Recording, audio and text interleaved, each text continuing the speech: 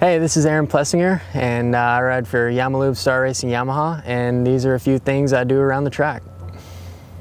All right, first we're gonna talk about a dragon's back into a sharp right-hand corner and then into some whoops. But uh, I like to get my butt back, balls of the feet on the pegs when I'm hitting the dragon's back, and then you gotta look forward, keep your weight balanced, and then when you hit the dragon's back, you're gonna pop off the top of it into the air, and then when you're landing, you're gonna land with your foot out, take that sharp right with your elbows up, and always looking forward, and then you gotta get back up on the bike, and then your weight has to be balanced again to hit the whoops, and you gotta come into the whoops pretty pretty solidly fast or uh, you're not gonna go too fast through them.